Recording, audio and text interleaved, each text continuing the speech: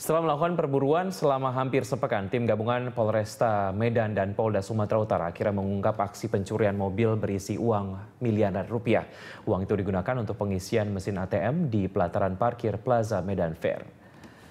Polisi merahan minibus milik PT Swadharma Sarana Informatika atau SSI di Mapolresta Medan. Mobil itu ditinggal pelaku di kawasan Jalan Sei Asahan, Medan Baru.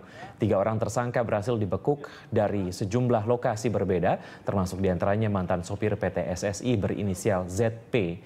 Polisi juga menyita uang hasil kejahatan sebesar 140 juta rupiah dan sejumlah kotak uang. Dari keterangan tersangka, komplotan mereka berjumlah lebih dari enam orang. ZP bertugas menggandakan kunci mobil pengangkut uang. Polisi kini masih menyelidiki dugaan keterlibatan petugas yang melakukan pengawalan mobil.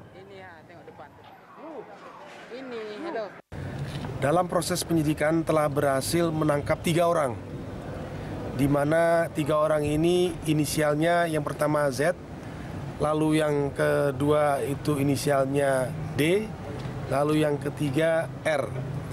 Berhasil pula disita uang sebesar 140 juta yang ada pada tersangka.